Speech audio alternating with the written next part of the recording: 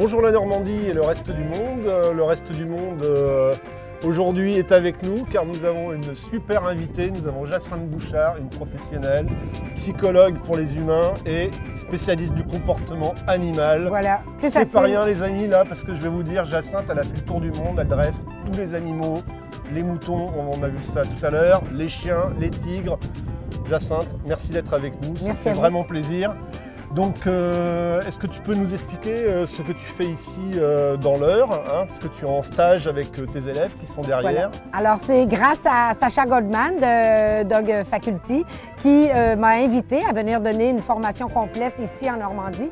Donc, on a une cohorte de 18 étudiants ici au manoir. Et puis, euh, voilà, la formation complète sur la psychologie, le comportement et l'entraînement spécialisé. Donc ce sont des gens qui sont en reconversion professionnelle pour certains, d'autres Oui. qui veulent aspirer à être éducateurs canins Oui.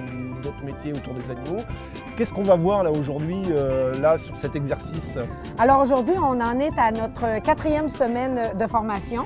Donc euh, les étudiants ont terminé la, la- la théorie, la formation théorique, et maintenant on est à la pratique.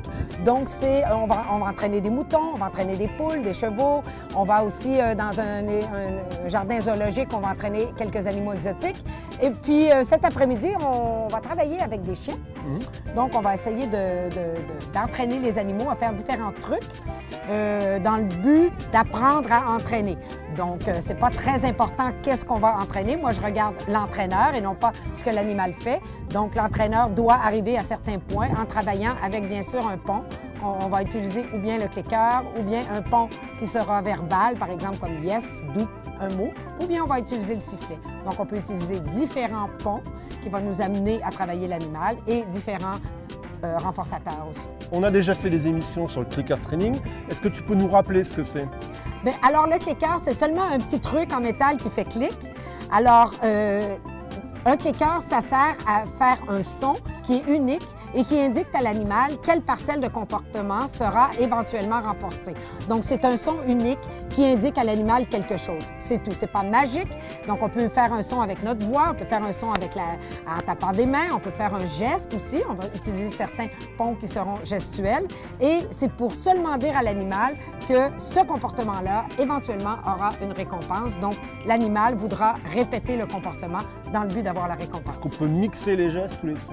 Tout à fait. On peut utiliser différents, différents ponts, on peut utiliser différents renforçateurs et même plus on va travailler de façon aléatoire, plus on aura de motivation.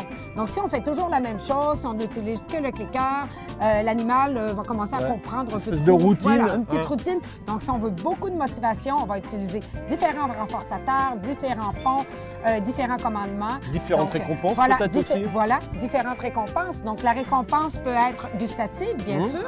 On est habitué d'utiliser ça, mais c'est très, très limité. Hein?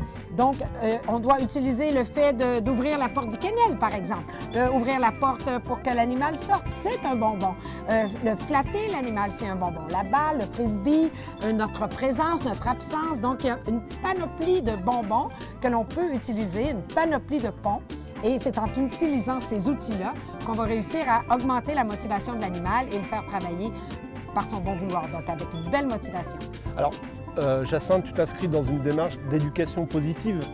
Ah, Exclusivement. exclusivement. Est-ce que tu peux nous en dire un peu plus? Oui. Euh, les gens qui. Beaucoup de gens disent Ah, moi, je ne fais que du renforcement positif.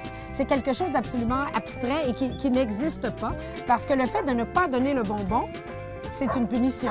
Donc, Mm. c'est impossible, même si on travaille au clicker, si je donne un, un biscuit parce que mon chien s'assoit, je clique et je donne un biscuit. Si le chien ne s'assoit pas, je ne donne pas de biscuit, donc je punis. Donc, les gens qui disent qu'ils n'utilisent que le renforcement, c'est qu'ils ne comprennent pas que l'animal, parce qu'il y a une motivation à recevoir, ne doit pas recevoir de biscuit s'il ne s'assoit pas. On- vous comprenez un Ouais, petit ouais, peu? là? oui, tout à donc, fait. donc, on travaille en au clicker, mais qu'est-ce qui motive l'animal? Finalement, c'est la punition de ne pas recevoir de bonbons. Donc, l'animal est motivé de s'asseoir Pour la deuxième fois. bonbon. Pour la- Comprenez-vous? Donc, dire qu'on travaille en renforcement positif, ça paraît bien, mais la réalité, finalement, dans la tête de l'animal, c'est qu'il travaille en punition négative, dans le sens où je veux avoir quelque chose, donc je vais travailler. Mais c'est de la science un peu, là, mais euh, oui. Jacinthe, merci pour toutes ces explications. Merci euh, pour ta facilité parce que je rappelle que tu as travaillé pour Radio-Canada, Ah, donc euh, tu es une espèce de concurrente de notre petite émission euh, normande. Quant à nous les amis, on se retrouve bientôt. pour une prochaine émission. On garde le contact.